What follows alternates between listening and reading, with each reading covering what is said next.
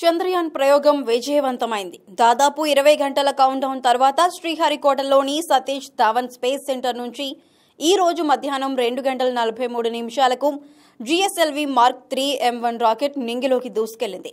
బాహుబలిగా పేరుగాంచిన ఈ రాకెట్ బరువు మూడు పాయింట్ ఎనిమిది టన్నులు. ఈ ప్రయోగం కోసం ఎంతగానో శ్రమించిన ఇస్రో శాస్త్రవేత్తల బృందం ఈ మిషన్ విజయవంతం అవ్వడానికి తొమ్మిది వందల డెబ్బై ఎనిమిది కోట్లు ఖర్చు చేసింది. చంద్రుడిపైన ఖనిజ నిక్షేపాలు అక్కడ ఉపరితల వాతావరణ పరిస్థితులు వంటి అనేక విషయాలను తెలుసుకోవడంలో భాగంగా ఈ మిషన్ ప్రయోగం జరిగింది.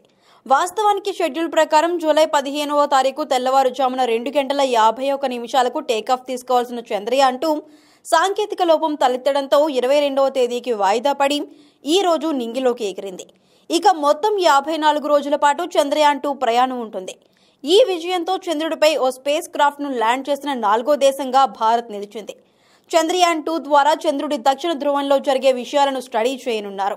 అక్కడే ఎక్కువగా నీటి ఆనవాలు ఉన్నట్లు శాస్త్రవేత్తలు చెబుతున్నారు.